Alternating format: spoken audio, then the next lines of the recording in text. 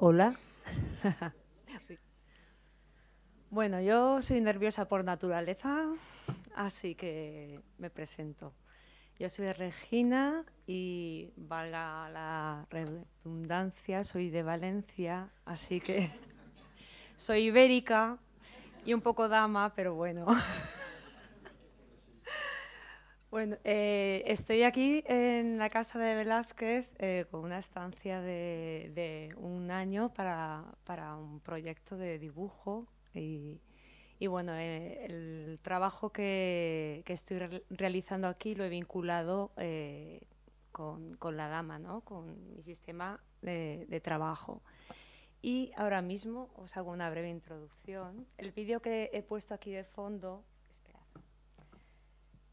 me ha parecido sugerente mostrar como un bucle eh, de mi manera de trabajar, ¿no? Es como muy lenta, muy meditativa y como es muy curioso, ¿no? Porque desde el principio eh, yo no soy técnica, ¿no? Aquí hay muchos profesionales que hablan eh, muy bien sobre el análisis y sobre aspectos técnicos que yo descontrolo totalmente. Pero es muy curioso porque vosotros quitáis materia y yo la pongo. Entonces me parece muy sugerente que como desde la nada eh, intento construir un, lenguaje antiguo, ¿no? Y es, es una conexión ¿no? con, la parte, digamos, eh, investigadora de cómo vosotros necesitáis esa materia para poder entender qué ha sucedido, ¿no? Bueno, pues ahora paso a hablar del proyecto. Ay, Attends.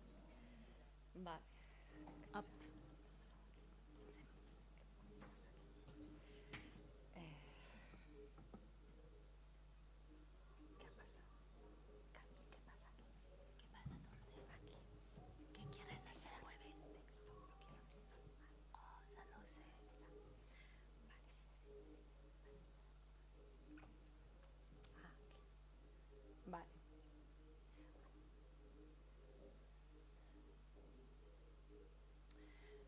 Perdón.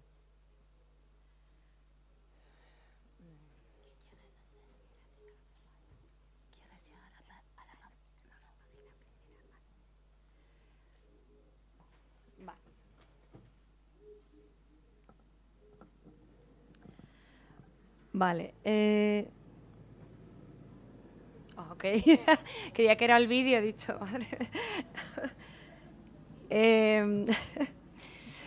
Bueno, para poder vincular eh, eh, mi dialéctica, ¿no? mi sistema de trabajo con, con, la, con la Dama de Elche, entré en la página del Museo Arqueológico Nacional y descubrí que dentro de, del apartado ¿no? de, los distintos, eh, de las distintas temáticas que, que tenéis en el museo, encontré arqueología de la muerte, ¿vale? Y dentro de la arqueología de la muerte, el rito funerario, desde distintas perspectivas y épocas. Y me pareció muy interesante y muy sugerente vincular eh, precisamente eh, el proyecto que yo realizo con, digamos, con esta, con esta eh, perspectiva que, bueno, que, se trabaja en, en el museo, ¿no? Eh, de hecho, em, la pieza que eh, más tarde os mostraré pertenece a una serie eh, que ya llevo un tiempo desarrollando que se llama Inhumación del Patrimonio. ¿vale? Y la pieza se, llama, se, se titula Inhumación 6. Depende del proyecto que voy realizando, las piezas también las voy enumerando y paso a comentaros eh, Inhumación del Patrimonio de qué va, ¿no? Que, bueno, las propias palabras ya, el, propio título ya lo, lo dice. Eh, inhumación, el significado de, inhumación eh, deriva del latín inhumare. Inhumare, significa en tierra, ¿vale? entonces, inhumación es acción y efecto de inhumar, entierro, enterramiento, sepelio. ¿vale? Eh, patrimonio entendemos como patrimonio cultural ¿no? un conjunto determinado de bienes eh, tangibles e intangibles y naturales que forman parte de las prácticas sociales, a los que eh, se atribuyen valores de ser transmitidos y luego resignados de una época a otra o de una generación a, las siguientes. En, este caso la, representa en, en, mi trabajo esta acción de depositar restos eh, mm, eh, fúnebres, eh, mm, para mí esa representación es el busto de la Dama de Elche. Cómo fue hallada, cómo fue encontrada, como protegida por unas losas de piedra, enterrada sobre sedimentos de piedra, y me pareció muy curioso. A ver, ahora voy a describir el proyecto, ¿vale? Eh, inhumación del patrimonio. Inhumación del, patrimonio es un proyecto artístico que ahonda en los orígenes eh, del ser humano, construyendo un imaginario topográfico lineal a través del proceso de subjetivación o prácticas de sí de, Foucault. ¿vale? Eh, en este sentido, mi sistema de trabajo, esto lo asocia a mi sistema de trabajo, porque yo invento, no copio, no hago bocetos trabajando. Entonces, conforme voy trabajando la pieza, la pieza va surgiendo. ¿vale? Es como eh, es una práctica eh, meditativa de, mi auto. es como mm, lo podría yo mm, explicar como un, un, autocrecimiento de alguna manera ¿no? personal, ¿no? que se convierte al final en, una pieza representativa que la vinculo a un discurso antiguo, ¿vale? que está conectado eh, con el ser humano. El proyecto habla de la Tierra y su conexión cíclica con el ser humano a través de la memoria del objeto representado, en este caso la piedra. Existe una unión intrínseca entre el ser humano y la muerte, donde se retorna a la naturaleza a través del ritual funerario o en este caso con el fuego y la tierra. Eh, ambos son elementos primitivos que, acompañan al ser humano desde tiempos ancestrales, que abren y cierran un ciclo de vida y muerte que se va repitiendo desde los orígenes. Actualmente, esta vinculación matérica genera un discurso de búsqueda existencial donde el ser humano ha cambiado su hábitat, su medio natural, por las grandes urbes. ¿vale? A mí me, esto es una ya es una apreciación personal y es que me inquieta mucho. Yo soy de Valencia, he nacido allí, allí hay mucha, en el casco antiguo hay, ¿no? hay mucho sedimento de, pues de, la época romana, de, visigótica, bueno, en fin, de todo hay todo un estrato y me, llama a mí especialmente muchísimo la atención cómo podemos andar de forma cotidiana ¿no? por mm, eh, distintas eh, bueno, eh, urbes que desconocemos totalmente qué es lo que ha sucedido ahí. ¿no? Entonces, esas urbes para mí son, se han convertido como en espacios impersonales, devoradores de tiempo, que nos han domesticado en cierta manera, ¿no? Y, bueno, la vida nos, la está haciendo vivir de una manera como muy efímera y salvaje, ¿no? No somos conscientes al 100% de, de esa fragilidad que, existe, eh, que tenemos como seres humanos, ¿no? Como existencia. La incineración y la inhumación eran los rituales funerarios utilizados por diferentes civilizaciones. En el primero, el, cuerpo se colocaba en una pira funeraria que ardía hasta que se consumía todo a cenizas, que posteriormente se depositaban dentro de una urna y se enterraban en una tumba o mausoleo. En cambio, en el segundo el cuerpo se entierra intacto. Estos actos funerarios, ya sean de combustión o desintegración, que han ido aconteciendo en el tiempo, son necesarios retomarlos a modo de proyecto para hacer visible a la sociedad actual el mito de la inhumación. A ver, perdón. Mm, mm, mm.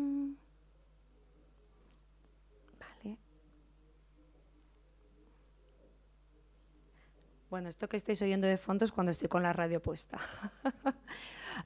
mm, como parte de la historia del patrimonio eh, del ser humano. El fuego es otro elemento muy presente en los rituales funerarios. En la antigüedad, los cuerpos y las ciudades ardían hasta quedar todo reducido a cenizas.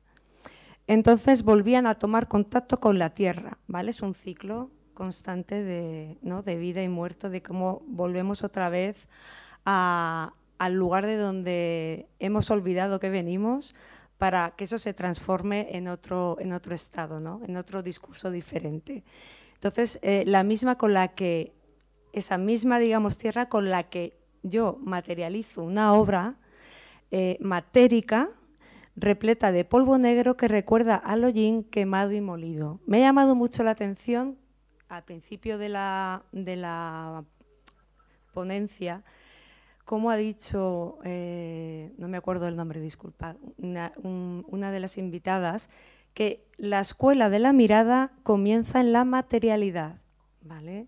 O como en otra ponencia han comentado sobre el análisis científico, ¿no?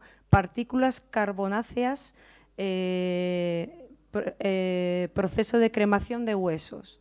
¿no? Como desde, desde esa mirada y ese análisis más técnico, más químico, eh, nos acercamos ¿no? y construimos la mirada, digamos, artística. ¿no? Estamos, estamos entrelazados, estamos unidos a generar también eh, hay una comunicación que, al final nos está vinculando a algo tan sencillo y tan simple como puede ser el propio hecho de la propia asistencia. Eh, como eh, justificación personal, hablo sobre el concepto de no hay espacio para el pensamiento en la sociedad en la que vivimos actualmente. Se vive en un constante estado individual de desterritorialización por este hecho, el proyecto va dirigido a construir, un, discurso narrativo sobre la materia negra. Replantea un, modo, un nuevo modo de observar desde la lentitud, el reposo visual y el silencio para asimilar que somos un eslabón más dentro de este oasis lleno de huellas y que muchas de ellas se encuentran olvidadas y sedimentadas por desconocimiento en nuestras ciudades, que es lo que he comentado a posteriori. Eh, entonces, nada, eh, principalmente que la finalidad de este proyecto es generar un, eh, generar un imaginario geográfico, que, el imaginario geográfico es el trabajo mm, que estáis viendo, gráfico, nunca mejor dicho, con el lápiz, y, y, es una manera de retomar y de generar una memoria ¿vale? del ser humano a través de estas piedras flotantes que quieren contar algo, ¿vale? Y después de esto diréis, ¿y, esta chica? o sea, ¿por qué? ¿Por qué? Porque los artistas estamos muy mal, somos así. Y, tenemos que generar algo porque, porque, porque sí, porque está en nuestra naturaleza. Entonces, Aquí ha habido una cosa muy, muy curiosa y es que voy a contar ahora mi sistema de trabajo para entender el por qué hablo de, esto. ¿vale? Como podéis ver, eh, genero, genero como trazos, primero una mancha y como trazos, ¿vale? poquito a poco muy suaves, que van superponiendo, superponiéndose y es como, como una materia en polvo que va generando un volumen. Yo trabajo con el volumen con una forma eh, inexistente. De esa forma inexistente estoy generando un universo, ¿vale? ¿Qué ocurre? Dentro de ese universo, ahí he traído una pieza para que la, veáis eh, físicamente, que es la que he vinculado con la dama. Voy generando profundidades, ¿vale? Profundidades me refiero a como incisiones, penetraciones, ¿vale? Y aquí ya volvemos a, retomamos o nos vamos a ir un poco a la dama de Elche, y al arte contemporáneo. ¿Qué ocurre? Eh, a mí me ha generado y me ha sugerido un mundo eh, increíble la cavidad que tiene detrás.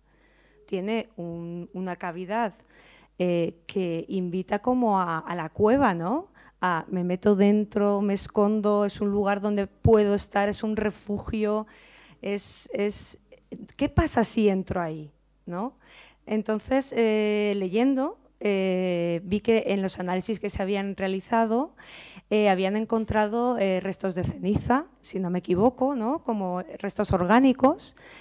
Y claro, resulta que, en, el trabajo que realizo yo hablo de esa atemporalidad del espacio-tiempo, que como Lucio Fontana genera esas incisiones, ¿vale? esas penetraciones que te invitan a entrar a, otro espacio-tiempo, a otra realidad, para generar ahí un, bueno, un discurso eh, que a, fin de cuentas eh, lo están haciendo los, técnicos, pero que los, artistas, como eh, mentes y seres de almas inquietas, eh, en mi caso, necesito hablar de, la vida, ¿no? De qué pasa, ¿Por qué, estamos aquí, qué está sucediendo, quién fue esta persona, ¿no? ¿Por qué, o sea, mm, por qué eh, aparece en este, en este preciso momento o apareció, surgió en ese preciso momento esa pieza y cuántas hay más sin descubrir? Eh, ¿Qué va a pasar cuando yo no esté? ¿No? Entonces, todo eso a mí me genera, eh, me genera eh, leer, investigar sobre distintos temas relacionados con el patrimonio y que vinculo como metáfora a un trabajo que quiero hablar de la perdurabilidad, de la permanencia, pero desde lo efímero, porque trabajo en soporte papel y reflejo un, tipo de pieza que al final son piedras inventadas, piedras flotantes, piedras de mi imaginario que también van a, van a desaparecer. Entonces, al final, ¿qué, va a suceder? Y como, como tinta así final, voy a mm, descubrir que me llamó mucho la atención porque empiezas a leer a gente y, y te das cuenta de que no estás sola en el mundo. Y es muy curioso cómo este, a ver, eh, como Blaise Pascal, matemático y físico, dice aquí, esperar, que no me aclaro, eh, cuando considero la mirada, la limitada, eh, perdón, cuando considero la limitada extensión de mi vida comparada con la eternidad, o la pequeña parte de espacio que puedo tocar o ver, sumergido en la inmensidad infinita de espacios que no conozco, siento miedo y asombro al verme aquí en lugar de allí, ahora en vez de entonces. Y nada, mm, un abrazo y...